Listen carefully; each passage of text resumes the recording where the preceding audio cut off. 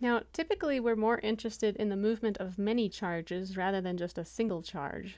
So now let's consider a differential volume of charge, which I'll draw here as a cube. So this is a differential uh, volume of charge. So there's a volume charge density, and the amount of charge is rho v times dv. dv is the volume of that charge, that, uh, that cube with the charge density evenly distributed within the volume.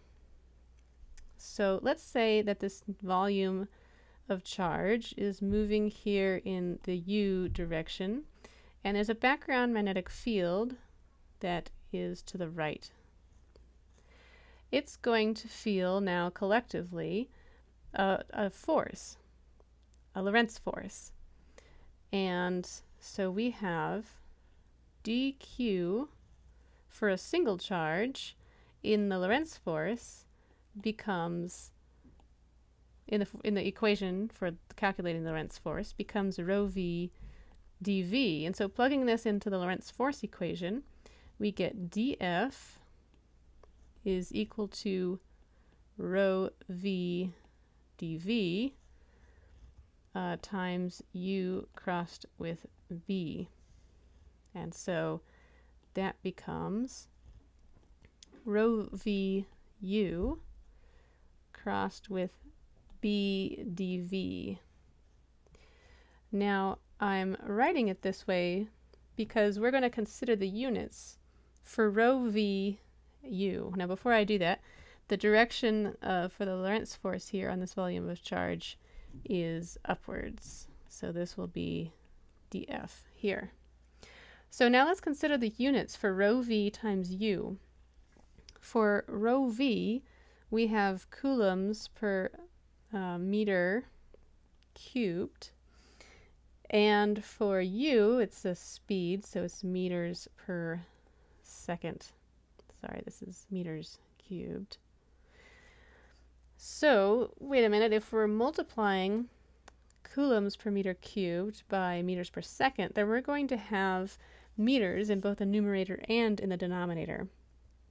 So if we cancel the meters in the numerator and the denominator, then we're going to get, for the units, we're going to get coulombs per second times meters squared.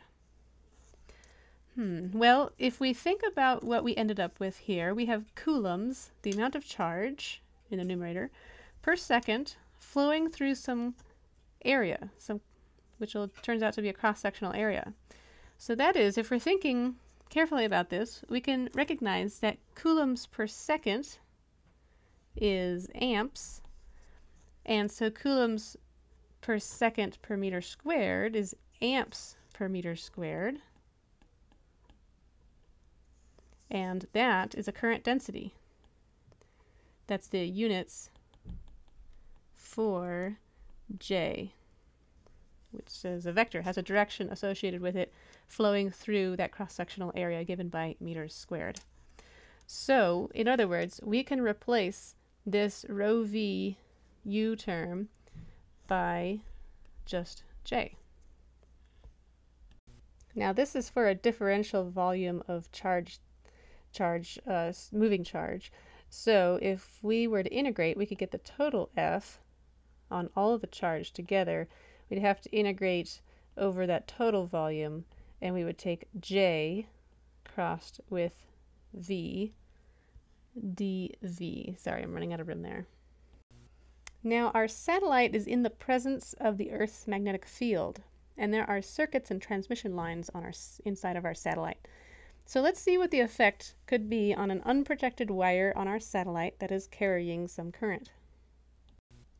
Consider a current density, J, that is constrained here to flowing along a wire of a cross-sectional area dA and in the dl direction.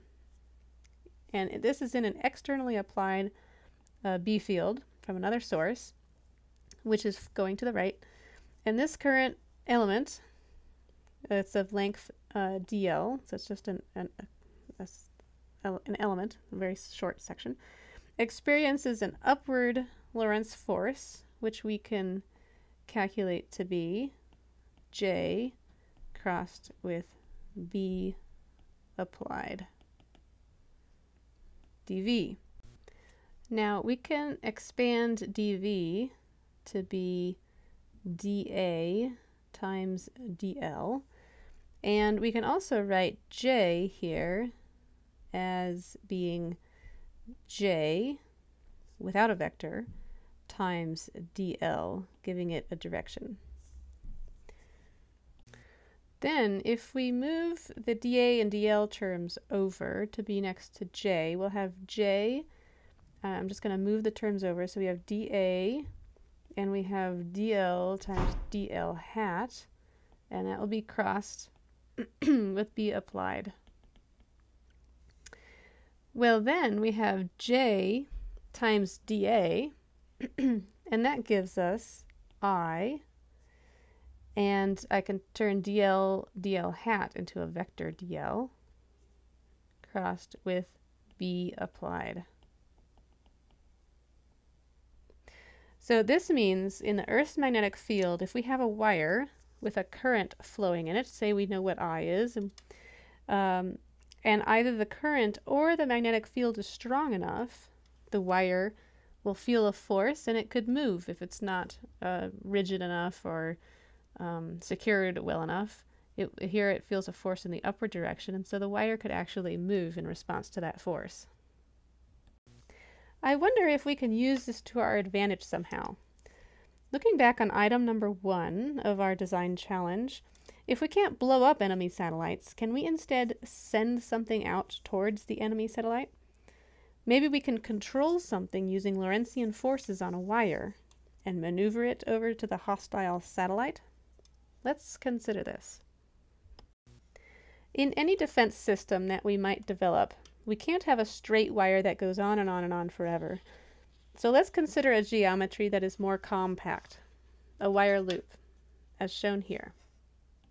So consider this wire loop and it's in a uniform B applied from another source, which in this case for our design challenge would be the Earth's, could be the Earth's magnetic field.